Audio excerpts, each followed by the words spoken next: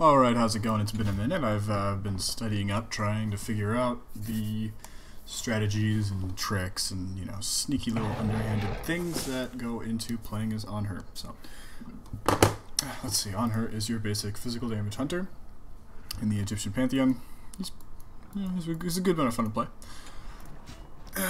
let's see here. These are his starting stats. You can see that um, he actually has pretty decent protections for a hunter. Still a hunter, but has decent protections. Starting health at 538. Um, his damage starts at 43% plus 100% physical power, which is you know is important. That's, that's important for hunters. Um, he has a comparatively slow uh, attack speed. Um, Amazon Ka starts at 0.97, um, and Apollo starts at 0.97. Let's see, Cernunnos 1.01, um, 0.97. So you can see Anhur actually starts at 0.92, which is not considerably lower, but in the grand scheme of things, as things level up, it will scale slower. So attack speed isn't usually your best bet for Anhur, but we'll get into that later. Um, so you can see quickly at level 20 that he has just a bit more health. His attack speed would, would max out at 1.21 um, natively. That's without any uh, items or anything like that. So you can see he's still got those decent protections. Um, so, that said, I can go over his abilities really quick. Um, so, let's just look at everything here. It's my KD. That's trash. Okay. Yep, so that's neat. So here we are. Alright, so his passive is Enfeeble, which is a debuff applied to enemies hit by his spear. Uh, reduces the enemy target's physical protection for 3 seconds. You can see already that his, um, his kit and sort of his whole deal is that he reduces protections, uh, or shreds protections, so to speak, and then penetrates them. So uh, penetration her is usually what's uh, intended and successful in battle. So that's what you kind of want to look, look at when you're playing as Anhur is you want to look at protection shredding and um, well just kind of chopping up your enemies. And there's a couple of different ways to play him, which will be gone over quickly um, and efficiently. We've got shifting sands here, which is a ground target. It is a, um, an area radius. It's 30 units. So uh, you stick an obelisk from the ground, it blocks all player movement. So that obelisk in the center cannot be moved through or over. The sand slows enemies and increases damage of basic attacks against targets that are stuck in them. Um, this is important. This is very key to most of Anhur's strategy. Um, the, the, slow scales all the way to 35%, which is pretty dang good late game, especially if you have other slow effects being applied. Um, uh, Nemesis, Nemesis Cone, that sort of thing. Um, it really stacks up and gets a little crazy. People can feel like they're completely stunned when really they're just at like 60 80% slow, which is just ridiculous. Um, then you got your damage buff, which scales all the way to 20% at level 20, which is uh, actually kind of incredible. And then that's going to stay up for about 7 seconds. And the cooldown is obviously changeable, so we don't even need to go over that. Cost is um, simple. Alright, so now we have Impale. Impale is your typical line ability, you throw your spear. Alright, but here's the difference is that it hits uh, knockback. So if they're knocked back into a wall, they're stunned. Um, and enemies hit by the god that's being pushed take damage as well. Um, and the spear goes through minions, so you can actually stick someone through a minion, so the, the minions aren't going to stop it, basically. So that's 90 to 350 plus 80% of physical power, and the stun duration goes all the way up to 1.5 seconds um, later in the game. Um, important thing to note is that because the pillar stops movement, um, the sand slow enemies, and increases the damage of basic attacks, the pillar is technically a wall. So, that said, when you bring up your pillar behind an enemy or on a trapped enemy against a wall, line up your uh, your spear here, and you want to get your spear impale on that pillar, a pillar stun, so to speak. So, once you get your pillar stun, you'll have done a decent amount of damage. You start following up with basic attacks, and those basic attacks are going to do additional damage. It's a pretty solid combo. Um, the stun not being that long of a stun is pretty much permanently useful. Um, just because if anybody's standing nearby that can actually help you capitalize on that, the enemy's going to die. There's no question about it. So next we have Disperse, which is a leap, 15 meter radius when he lands on the ground. so he leaps right to his target location, doing damage and knocking back enemies in the radius. This is important because um, the knockback is actually pretty pretty effective as a knockback as a CC. Um, so you're really good at helping out your teammates and stuff, and that kind of plays into him being a slightly tankier um, hunter, just just slightly. Don't take that to heart that he's tank. He's, he's not he's not necessarily a tank. He's just slightly tankier. So that's 70 to 230 plus 60% of physical power. Not a whole lot of damage. Um, has a 15 second cooldown. Again, reducible. And then Desert Fury. This is his final form, so to speak. So uh, her uh, throws uh, just a ridiculous amount of spears. They pass through anything and everything. So they will go through walls. They will go through um, enemy gods. They will go through anything that you throw them at. Um, and they do damage to anybody that they hit, obviously. Um, this also gives them CC immunity. So you get 60 to 170 plus 30% of physical power, and you throw 8 of these.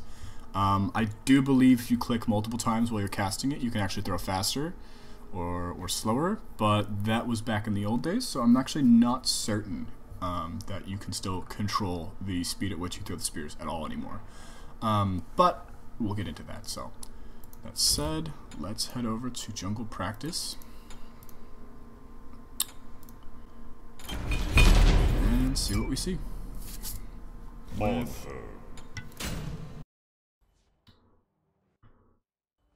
Alright, so just something I forgot to mention in the original recording is that the pillar stun, as I had dubbed it, um, is not required to be done with the pillar. You can actually stick someone to any wall with a stun. I don't actually know if this is a more recent update or if it's always been this way, but that is how things stand. Can actually do the stun with any wall, and that means any wall. So I can push this Odin. Yep, will stun on that wall. Oh.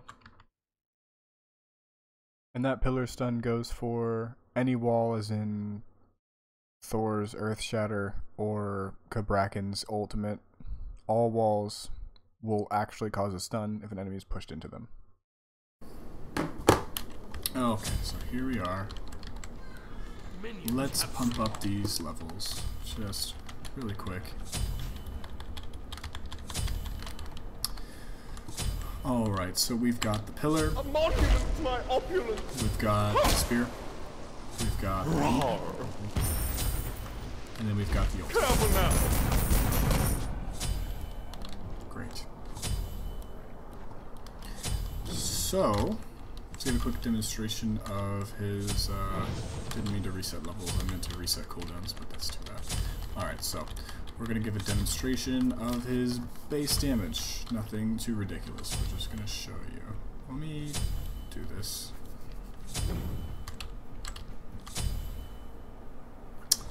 That's not what I thought that did.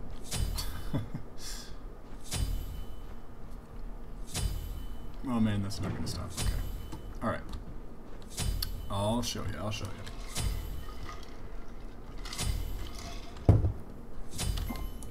Okay. So. Give ourselves a little Neith bot. Alright, so. We are at level 20. Our basic attacks are going to be hitting at 1.21, which is uh, pretty abysmal.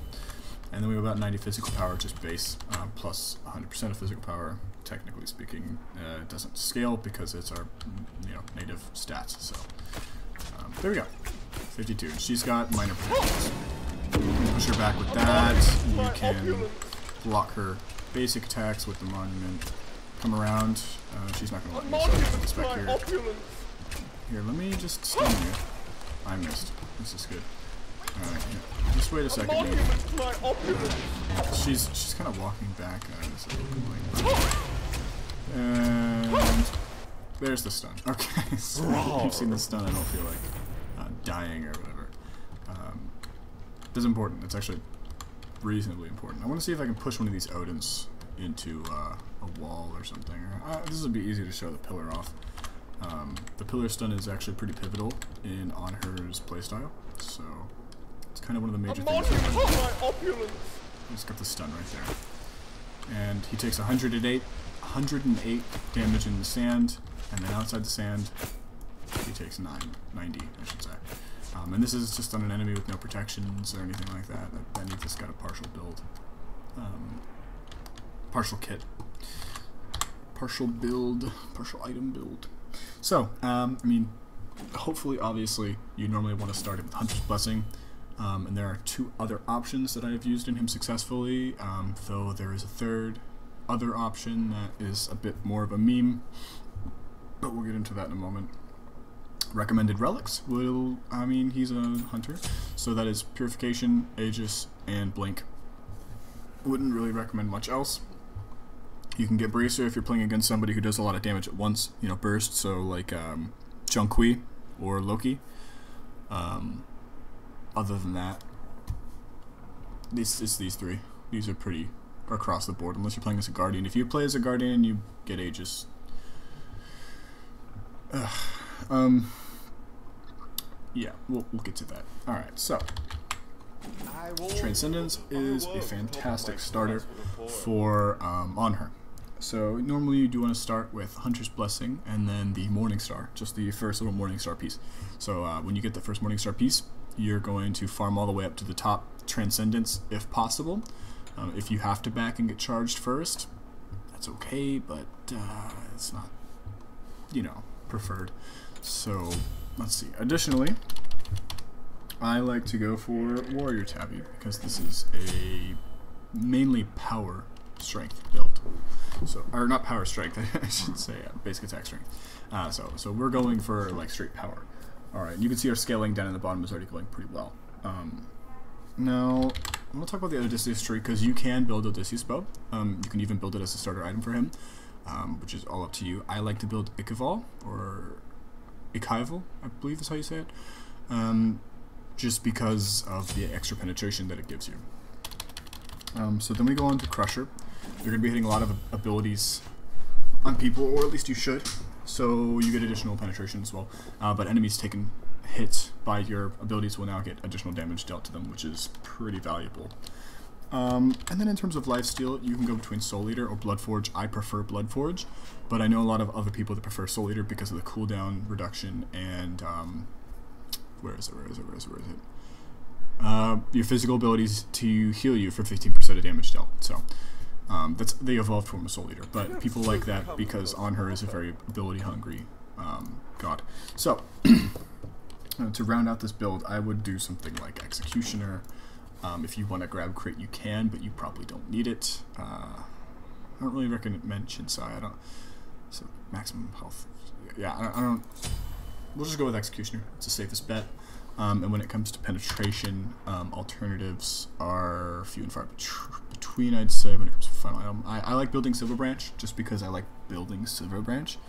Um, but as you can see, for each 0.02 you go over cap, you gain one physical power.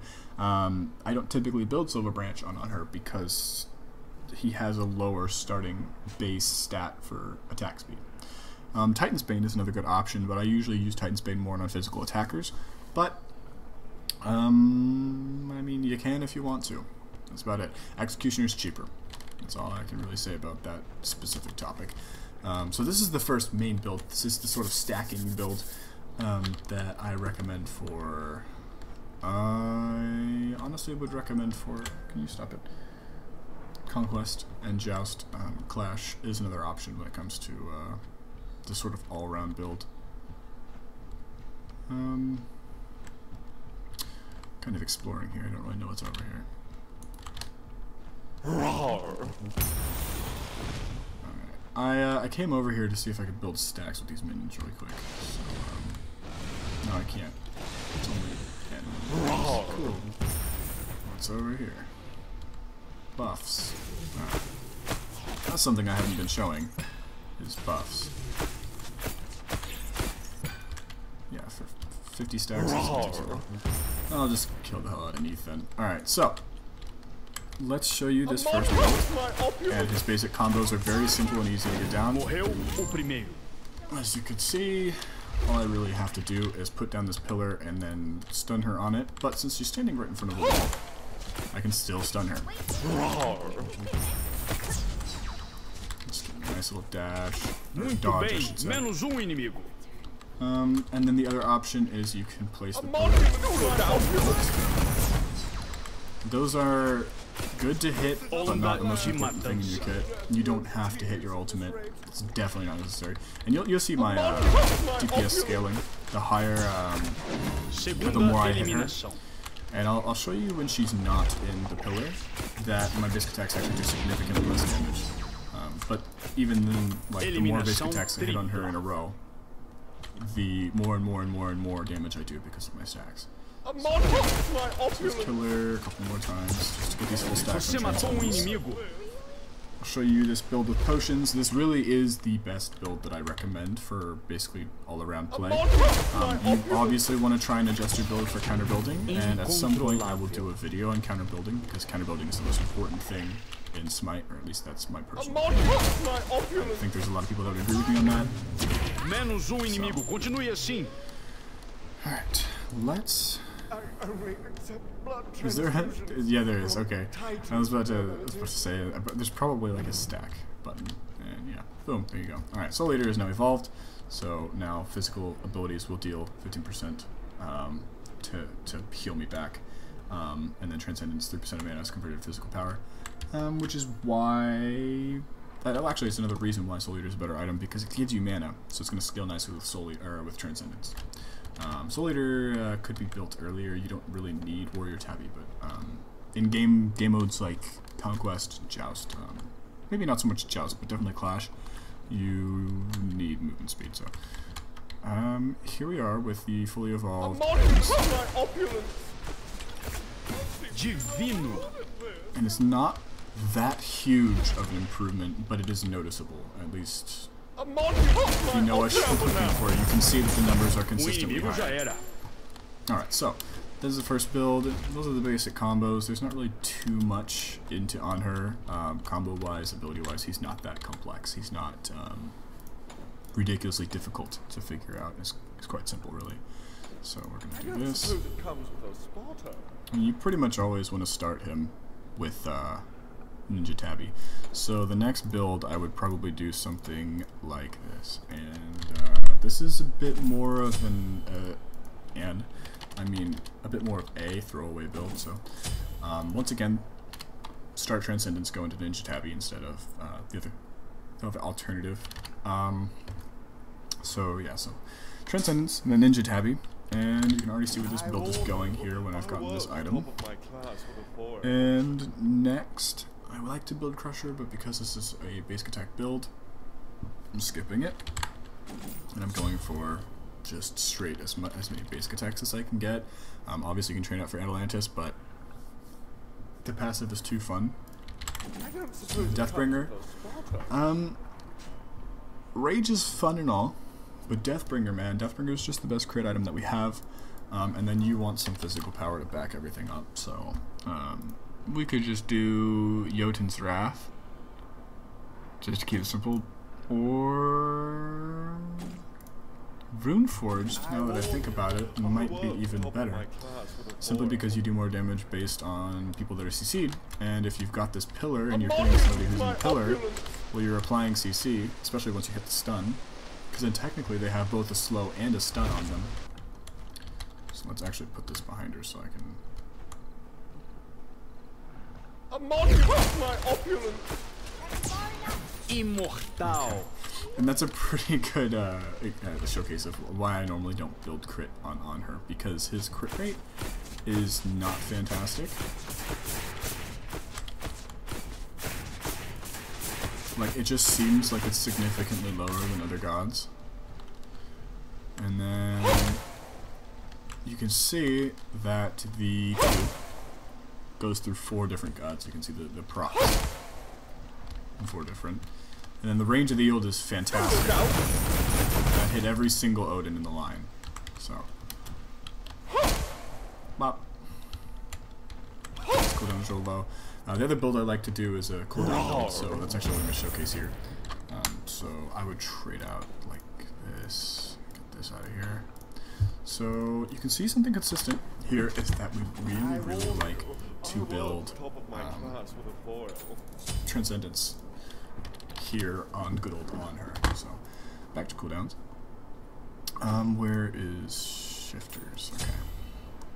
And oh wait, this is the wrong build. Okay. Nope.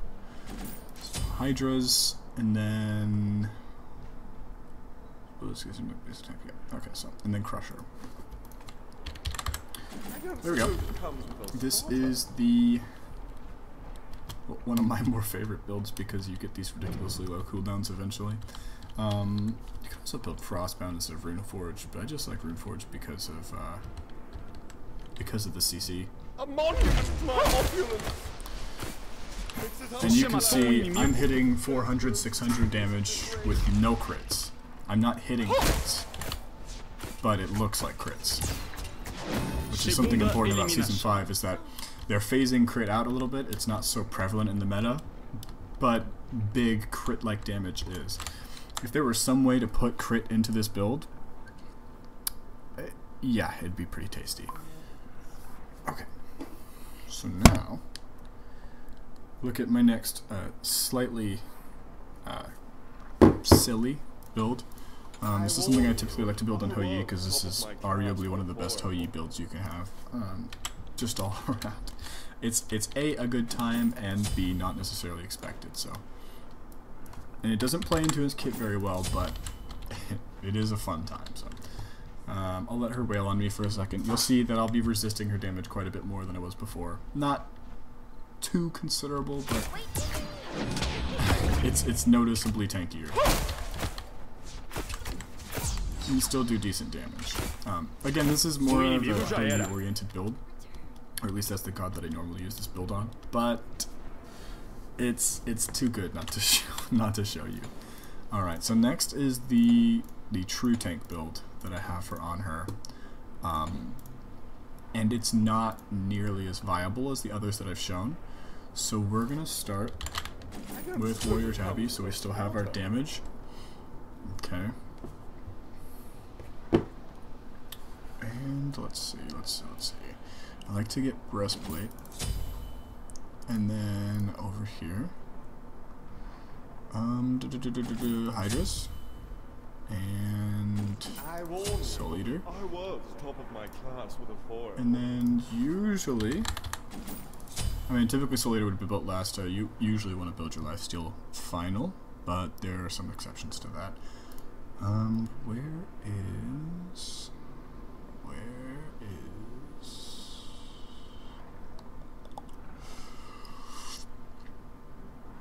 Yeah. Oh, oh yeah, yeah, warm okay. in here. Is it just me? Hide Aversion is very specific. Um, Mantle of Discord is another good option if you are getting CC'd like crazy. Um, you get that cooldown reductions from your thing, and then you also gain CC immunity, which is fantastic. CC immunity at 30% health, which is important, but still. Then you also have Spirit Robe, which does the same thing, but better. Um, it gives you mi- uh, damage mitigation whenever you're hit by hard CC, which is fantastic. So, um, options, but not what I choose. So now I'm a bit tankier. Um, I, I evolved this, right? I did, okay. These are evolved as well.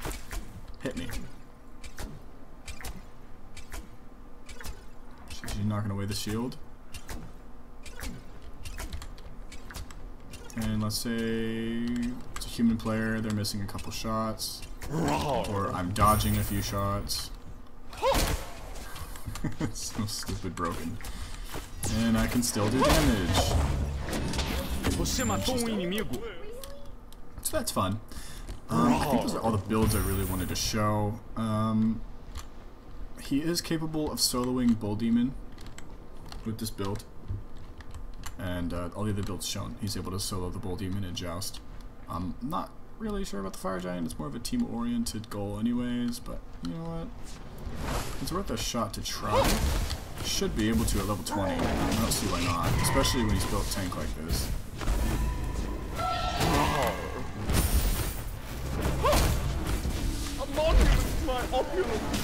Oh, okay. The stem from the sand still applies to uh, Fire giants. Interesting.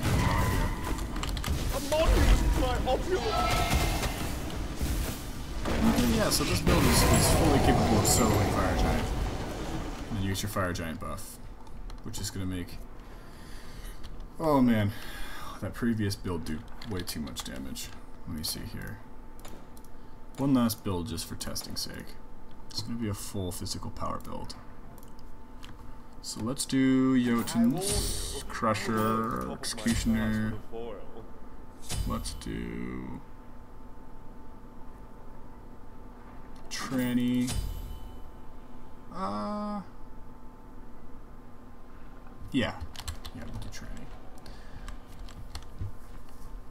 Mm, let's see how much damage we do. We have all the buffs. No crit.